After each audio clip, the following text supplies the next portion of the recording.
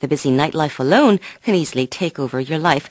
Sometimes you might even forget about the things you love to do back home. But finding those interests again can make life here a lot more interesting, as one expat has discovered. Evening Show reporter Michael Ree has that story. There's a sharpener over here. Oh, there's here. Yeah. It's Friday night in a small art studio in Myeongdong. The walls are covered with paintings of fruit, models, and landscapes, all done by students at one time or another. Mike Stewart sets up a chair and an easel in the middle of this room, in front of a group of students. He's about to teach a class on dry brush technique. He's been teaching at this school now for about two years. But just a little while before that, he couldn't have been further away from this world.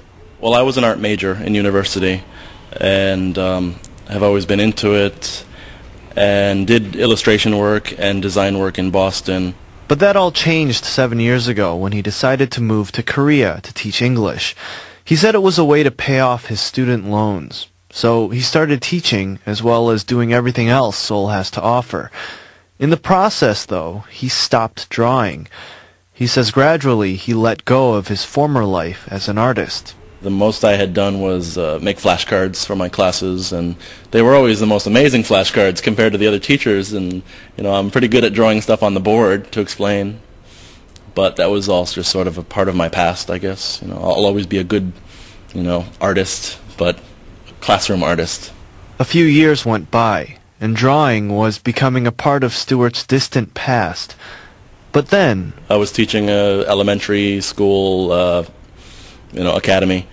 And on the way home one night, outside of a little restaurant, there was just an easel leaning up against the building. Someone had thrown it away. Like people in Korea tend to throw away all these amazing pieces of furniture, and I thought, yeah, I can put a, a poster on it or something like that. But then when I got it home, I said, you know, I have a lot of free time at night, and uh, it wouldn't take much to, you know, rather than go out to the pub with my friends as often, stay home and work on a painting or something.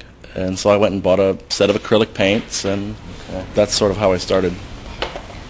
So you do wet the brush originally, just to. It's not really to mix with the paint; it's to protect the brush. If the brush is. Stewart's interest in art came back pretty quickly after he finished that first painting.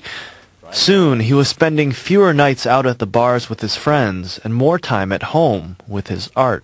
I did actually lose some friends because of it because I got so, you know, into staying home and working on stuff for once. And um, yeah, I sort of found a way to express myself. You kind of just give up who you are when you're just sitting in that pub with with beers. You just sort of complain about your job and stuff. But with a canvas or some art medium, you can express uh, a little bit more deeper things that are in the back of your head that you're trying to work on. He says he got involved at an art school in Seoul and soon started teaching. Since then, he's had several exhibitions of his own work. He takes me to a gallery above the classroom to show me one of his pieces on display. It's a linoleum block uh, that I produced for my last solo exhibition. It's a kind of a propaganda style poster. It was about this sort of concept of life in a really hard a hard world where everything was uh, lacking convenience, and so a, a government pushing people to do things the hard way. Sometimes I try to gently criticize about those things, but uh, these days I'm trying to be more gentle, I guess. Stewart says aside from putting out his personal take on the world, he just likes putting his prints and illustrations on display so they're seen. Sometimes, he says, he does work for free, just as long as he can sign it.